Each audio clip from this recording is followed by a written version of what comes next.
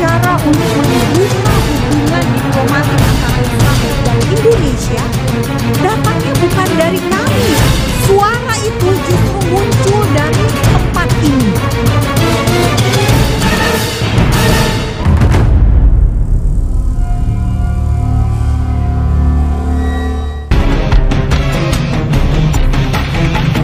Seperti tak ada henti-hentinya, Pondok Pesantren Al Zaitun memantik kontroversi yang lagi-lagi menggegerkan.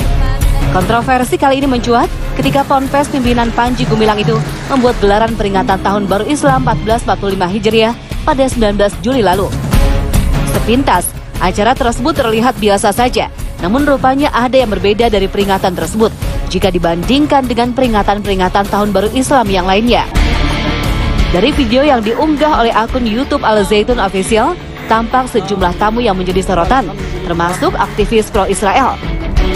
Iya, Monique Richgers yang diketahui merupakan aktivis pro-Israel hadir dan turut menyampaikan pidato sambutan. Damai dimulai dari Al Zaitun untuk Indonesia yang lebih baik dan lebih damai. Dan saya bersyukur ada seorang pemimpin pesantren yang visioner yang kapasitasnya bukan hanya sebagai pendidik tetapi sebagai negarawan. Karena seorang negarawan itu punya visi ke depan dan punya berdiri di atas golongan dan kelompok. Dan kita di Indonesia butuh orang seperti Sheikh Panji Gumilang. Visi tentang edukasi, mengubah pola pikir sejak dini yang dilakukan Al Zaitun itu betul-betul nyata dan berbuah. Indonesia 2045. Semuanya saya berharap akan ada presiden dari sini. Para santri maju terus. Kalian akan menjadi pemimpin.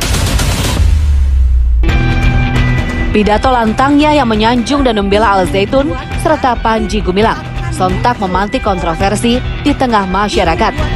Ditambah lagi, perkataannya yang menyebut Panji Gumilang sebagai sosok penting yang mendukung dibukanya hubungan diplomatik Indonesia dengan negara Israel. Dan saya menemukan di sini ada ajaran untuk menghapus diskriminasi. Saya menemukan monumen yang tulisannya adalah tentang toleransi dan perdamaian. Dan saya bersyukur untuk hal ini.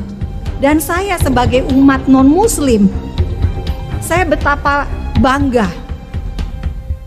Karena yang berbicara untuk membuka hubungan diplomatik antara Israel dan Indonesia, datangnya bukan dari kami. Suara itu justru muncul dari tempat ini. Bisa dibayangkan Luar biasanya, Sheikh Panji Gumilang sudah bersuara. Kontroversi yang seolah meruntuhkan Al Zaitun belakangan ini rupanya tak membuat Al Zaitun serta Panji Gumilang hilang dukungan.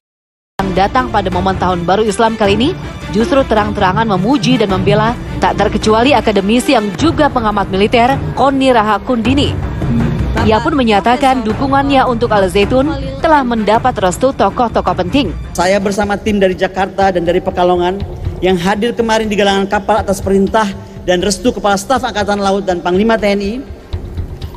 Demikian berbesar hati melihat kembali adanya neoplatonik dari masyarakat Islam kembali lahir di bumi Indonesia, di debur ombak pantai Indramayu, di tengah rindang kebun sayur dan peternakan Damai Al Zaitun.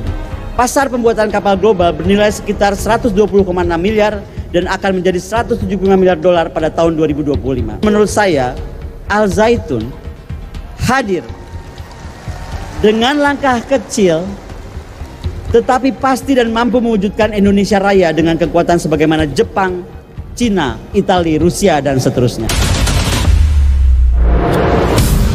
Apa yang membuat Koni datang membanggakan Al Zaitun dan Panji Gumilang? Apa yang saya ingin lihat adalah tadi, uh, ternyata betul beliau sedang membuat kapal dan itu sangat serius, galangannya juga sangat serius. Uh, saya tuh uh, melihat kapal itu bukan cuma satu, tetapi dua. Uh, yang satu panjangnya masih sekitar 30-an sekian, yang kedua sudah hampir 60, 58 ya kalau nggak salah. Menurut saya ini adalah potensi yang harus dibangun oleh bangsa ini kalau betul membangun sebuah kekuatan maritim. Dan kenapa saya apresiasi Al Zaitun? Karena menurut saya sebagai lembaga institusi pendidikan ini mesti diapresiasi. Why? Saya tanya sama sama sama uh, Pak Panji, Pak ini yang bikin kapal ini siapa yang desain? Yang bikin semua sampai merakit dan lain-lain. Semua murni Al Zaitun dan diterangkan oleh beliau dengan sangat, sangat detail. Kami ada semua videonya gitu ya. uh, bagaimana itu kapal mulai kecil sekali jadi sampan, jadi terusnya agak kecil, agak besar hingga jadi kapal beneran dua ini yang kemudian akan disuruh kapal ketiga. Jadi latar belakang saya adalah bagaimana ship shipyard yang um, apa yang integrated itu diwujudkan dan sekali lagi membuktikan Al Zaitun bukan negara dalam negara karena dan Lanal diizinkan masuk, Kapolres diizinkan masuk gitu. Jadi kita masuk bersama-sama. Lantas bagaimana Majelis Ulama Indonesia MUI melihat gelaran yang dibuat Al Zaitun itu? Panji Gumilang memainkan strategi.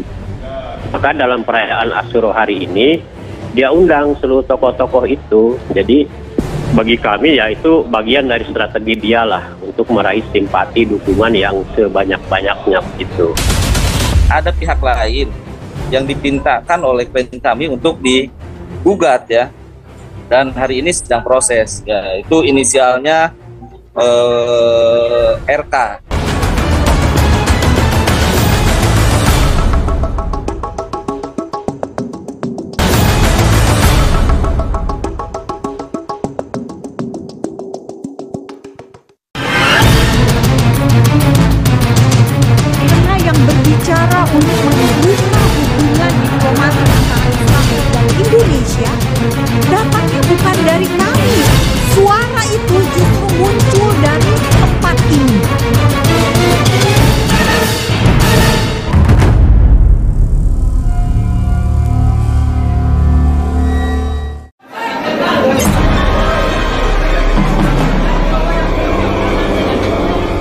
Pimpinan Pondok Pesantren Al Zaitun Panji Gumilang kembali menjadi sorotan.